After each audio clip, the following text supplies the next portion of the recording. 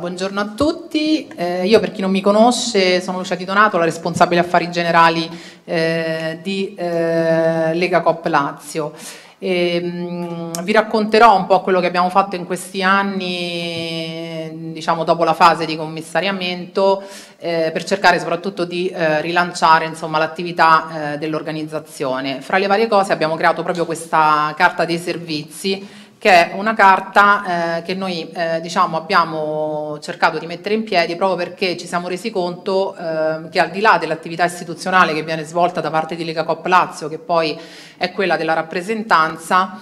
il, uno degli elementi che ci veniva richiesto soprattutto dalle cooperative associate era l'erogazione di servizi perché la rappresentanza è importante però poi spesso le cooperative ci chiedono insomma, di essere assistite e quindi di ricevere eh, dei, dei, dei servizi a loro supporto.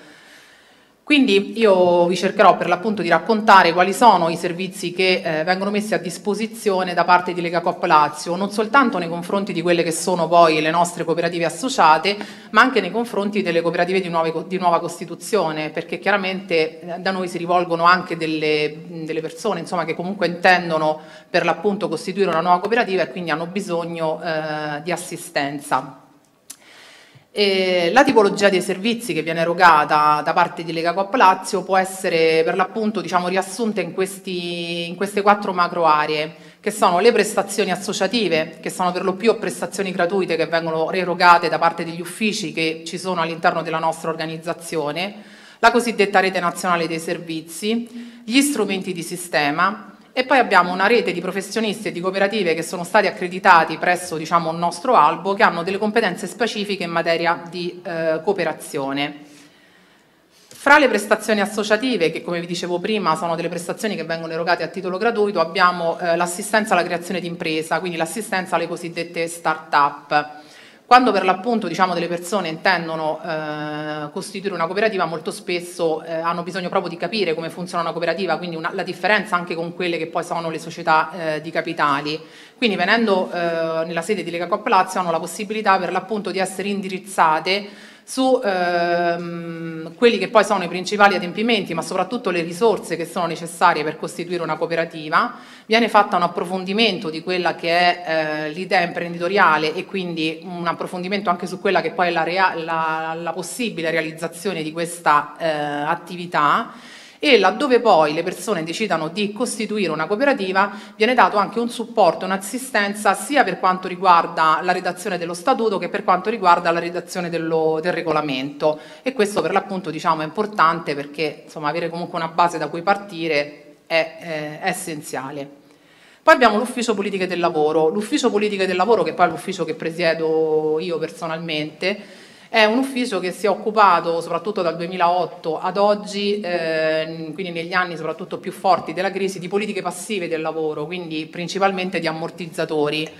E non so se molti di voi lo sanno, ma eh, fino al 2009 la maggior parte delle cooperative, fatta eccezione per quelle industriali e quelle diciamo, relative all'area del commercio, non avevano per l'appunto ammortizzatori, quindi non accedevano né alla cassa integrazione ordinaria né a quella straordinaria. Quindi la Regione Lazio eh, poi ha introdotto il meccanismo mediante per l'appunto un finanziamento, mediante poi finanziamenti previsti da ogni anno dal, dallo Stato,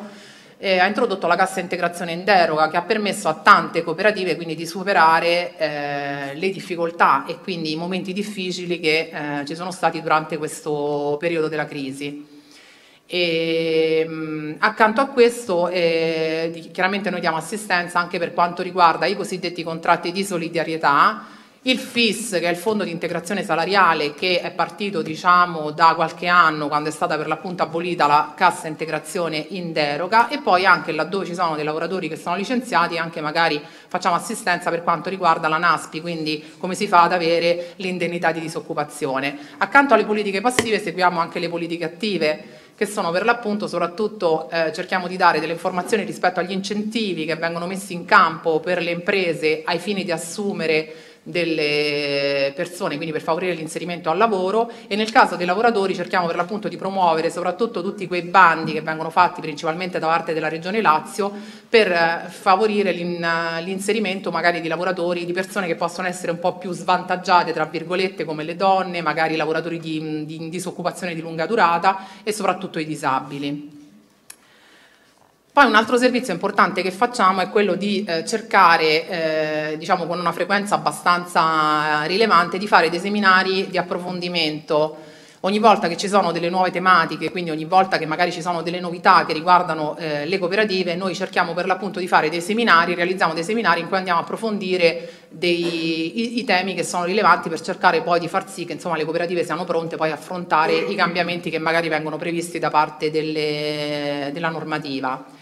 E prevediamo anche un aggiornamento continuo del nostro sito sul quale, sul quale, voi trovate sia tutte le attività che vengono messe in campo da parte di Lega Cop Lazio, ma anche le attività che vengono realizzate dalle stesse nostre cooperative. Quindi se le cooperative realizzano un progetto importante, noi comunque lo pubblicizziamo, quindi lo mettiamo sul nostro sito e poi ogni settimana vi arriverà la newsletter periodica che poi riassume un po' tutto quello che viene fatto durante la settimana e che trovate all'interno del, del nostro sito. E poi c'è l'altra funzione, che è proprio una funzione istituzionale di Lega Coop, che è quella della revisione cooperativa. E la funzione, la cosiddetta funzione di vigilanza, perché nel momento in cui la cooperativa aderisce ad una centrale cooperativa, quindi in questo caso aderisce a Lega Coop, la revisione non viene più fatta dal Ministero dello Sviluppo Economico, ma viene fatta per l'appunto da revisori della Lega Coop. E mi sento di dire che la revisione fatta insomma, da, dai nostri revisori è una revisione molto importante, non soltanto perché diciamo, il revisore eh, di Lega Coop, così come il revisore del Ministero, ha il compito di verificare che la cooperativa sia una cooperativa mutualistica, ma dall'altra parte ha una, anche un altro compito molto importante, che non è quindi solo quello della vigilanza, ma cerca anche di dare dei consigli alla cooperativa su come magari migliorare la propria gestione interna e se ci sono di, degli ostacoli, anche cerca magari di aiutare la cooperativa a superare questi ostacoli, quindi non soltanto vigilanza, ma anche assistenza da, eh, nei confronti della cooperativa. Questo chiaramente è una prestazione che ha un suo costo, ma non ha un costo perché viene previsto da Lega Coop, ma è il costo che chiaramente si sostiene perché è previsto per legge, quindi se la cooperativa non aderisce alla centrale pagherà questo costo nei confronti del Ministero dello Sviluppo Economico, se aderisce alla centrale pagherà lo stesso costo però chiaramente alla Lega Coop.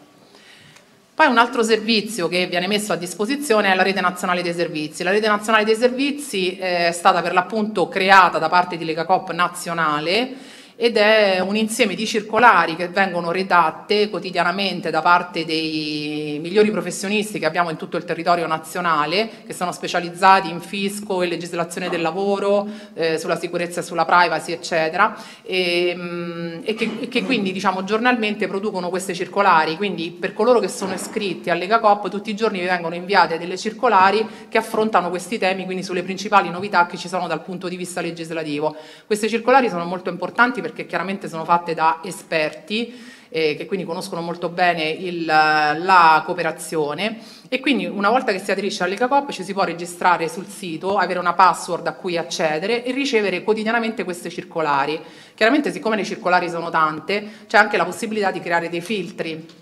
quindi se ad esempio uno non è interessato a ricevere le circolari che riguardano l'ambiente oppure la sicurezza e la privacy, basta che, che si collega sul sito e toglie il flag dove, sono, dove c'è sicurezza e privacy e dove c'è ambiente e quindi riceverà tutte le altre circolari. Se invece uno è interessato a riceverle tutte non toglie nessun flag e quindi riceverà quotidianamente tutte le circolari in eh, merito. Poi abbiamo sempre all'interno del nostro sito la possibilità, mediante sempre la rete nazionale dei servizi, di eh, avere una casella, una sorta di casella che viene chiamata l'esperto risponde. Quindi nel momento in cui voi ricevete una circolare che vi interessa, ma magari non vi è molto chiara, continuate ad avere dei dubbi, potete per l'appunto fare delle domande all'interno di questo esperto risponde e quindi poi ricevere delle risposte rispetto a, quei, a, quelli, a quelli che sono poi dei dubbi che vi sono venuti.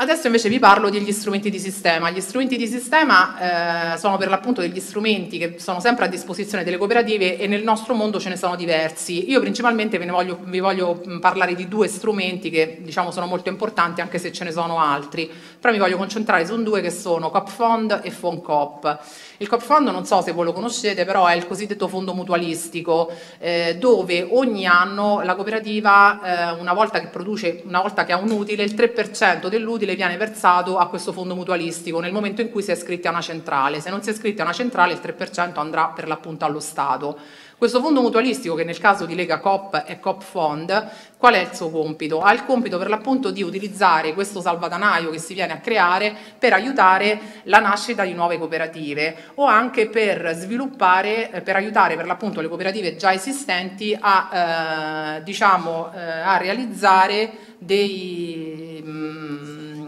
diciamo, dei progetti di eh, sviluppo. E, mh, mm, scusate, okay. Dei progetti per l'appunto di sviluppo e in genere diciamo, interviene su due linee, o partecipando al capitale della cooperativa oppure di conseguenza mediante un cosiddetto fondo rotativo, quindi un fondo che chiaramente eh, diciamo, dà un prestito a, chiaramente con un tasso di interesse bassissimo e che nel giro di sei, di sei anni la cooperativa poi deve restituire nei confronti di COP Fond. Poi invece c'è l'altro strumento molto importante che è il FONCOP. Il FONCOP è il cosiddetto fondo interprofessionale che è stato creato per l'appunto da eh, Lega Coop, AGC e Conf con i tre sindacati più importanti che sono CGL, Cisle e Will.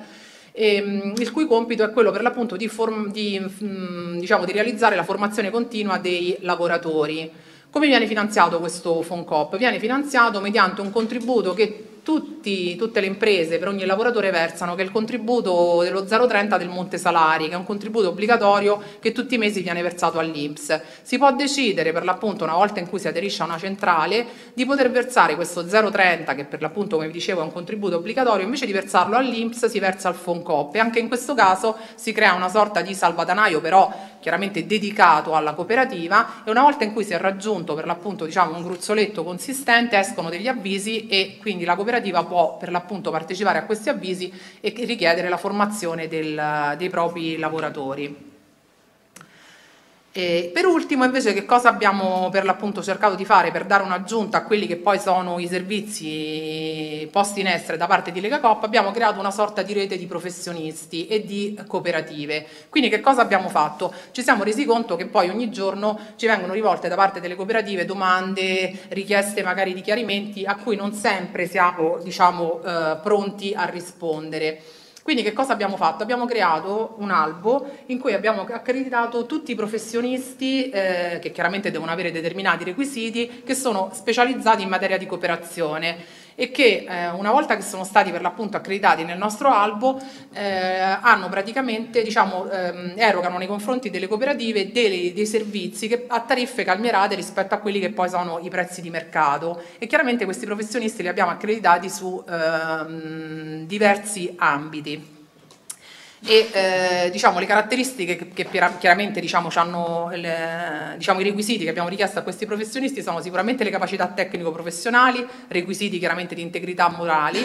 il fatto che pratichino delle condizioni diciamo, eh, vantaggiose nei confronti delle cooperative e poi soprattutto la la cosa fondamentale è la conoscenza della cooperazione, perché ci siamo resi conto negli anni che spesso ci sono magari avvocati, commercialisti, anche consulenti del lavoro che sono magari molto preparati, anche molto bravi, però poi a livello di cooperazione non hanno eh, la preparazione diciamo, adeguata, perché le, le, diciamo, il mondo della cooperazione non è molto conosciuto da questi professionisti. Ad oggi noi abbiamo accreditato 19 professionisti. Accanto ai professionisti che cosa abbiamo anche accreditato? Abbiamo accreditato una parte delle nostre cooperative associate, perché un'altra cosa di cui ci siamo resi conto è che spesso le cooperative fra loro non si conoscono.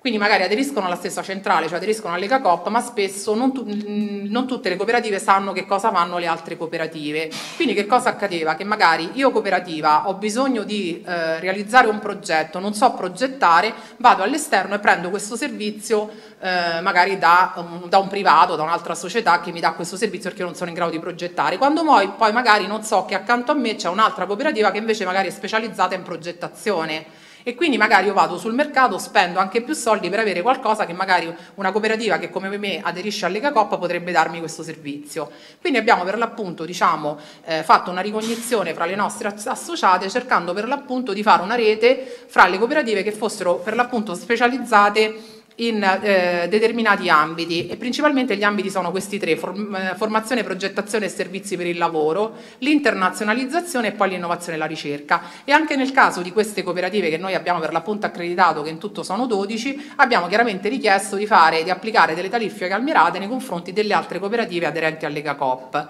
Invece per quanto riguarda i professionisti, abbiamo 19 professionisti e ne abbiamo 5 nell'area di consulenza legale e amministrativa, 8 nel caso nell'area della consulenza fiscale e tributaria, 3 nell'area della consulenza del lavoro, 2 su coloro che fanno la consulenza per i worker buyout, quindi per le, diciamo, per le nuove cooperative che nascono diciamo, dall'unione dei lavoratori che chiaramente diciamo, cercano di recuperare un'azienda che magari è andata male e poi abbiamo anche una convenzione col notaio che è molto importante soprattutto quando poi si devono fare le modifiche statutarie oppure quando ci si costituisce. Quindi questo per quanto riguarda i nostri professionisti. Poi inoltre abbiamo anche creato delle convenzioni, abbiamo fatto tre convenzioni molto importanti, uno con lo sportello assicurativo dell'Unipol, che quindi diciamo, fa delle, in pratica del, nei confronti delle nostre cooperative delle tariffe calmierate, soprattutto quando devono essere realizzate delle polizze in caso di fideiussione, eccetera poi abbiamo creato anche una convenzione molto buona con Banca Etica, quindi per avere magari un accesso al credito, perché uno dei problemi che riscontriamo maggiormente e che ci pongono le nostre cooperative è proprio la difficoltà di accedere al credito e quindi con Banca Etica stiamo riscontrando almeno questo ritorno che abbiamo da parte delle nostre cooperative che comunque diciamo, riescono ad accedere al credito più facilmente. E poi abbiamo creato una convenzione con la CGL, col CAF della CGL che mh, diciamo, ehm, da eroga un'assistenza nei confronti confronti dei soci delle cooperative eh, se hanno bisogno magari di redigere il 730, effettuare il modello ISE, eccetera, oppure fare l'unico. E poi invece abbiamo ripreso anche una serie di convenzioni che però queste vengono, sono state stipulate da parte di Lega Coop nazionale, ai quali comunque anche le nostre cooperative, quindi le cooperative che aderiscono alla Lega Coop possono accedere, che riguardano sempre le assicurazioni, i carburanti, c'è una convenzione con l'Enel e con l'ENI, poi anche per quanto riguarda gli hotel, la telefonia, i trasporti, quindi tutta questa serie di convenzioni che potete per l'appunto eh, vedere delineate che vedete delineate nella, nella slide. Quindi abbiamo fatto ecco, questa, mh, questa, carta dei servizi proprio perché cerchiamo per l'appunto insomma, di eh, potenziare sempre di più i servizi che vengono erogati nei confronti delle cooperative eh, associate. Quindi mh, insomma, visto che poi cerchiamo anche di rilanciare i territori, in questo caso stiamo cercando anche di rilanciare il territorio dei, di Rieti, insomma benvengano anche delle proposte, osservazioni da parte vostra. Grazie.